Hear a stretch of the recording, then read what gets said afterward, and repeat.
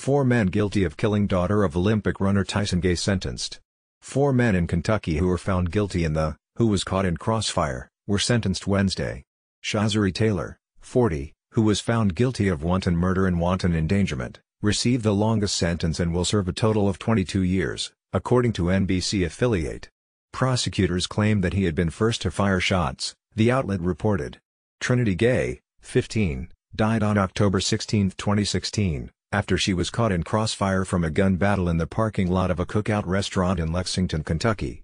A high school runner and aspiring Olympic athlete, Trinity was an innocent bystander when gunfire erupted, police said. She was struck in the neck and later died at the hospital. Taylor's son, Marquio, 21, was sentenced to 15 months time served and 5 years probation. Devonta Middlebrooks, 23, received a 15-year sentence, and 22-year-old Lamonte Williams was handed a sentence of one year time served plus five years probation. All three had been found guilty of wanton endangerment. I'm truly sorry. Trinity and I loved each other. Talked every day. She didn't deserve this, D'Markeo said, according to Lex. Wish I could go back to do that night over. The men, who were arraigned in 2016, were originally scheduled to be sentenced last month but the judge postponed it because he said he needed more time to go over the details, Lex reported.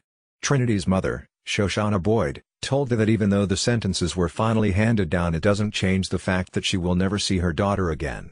I'm the only one who has to go to the cemetery, and I want people to understand that, she said outside the courtroom. Me and Tyson have to go to the cemetery every single holiday, every birthday.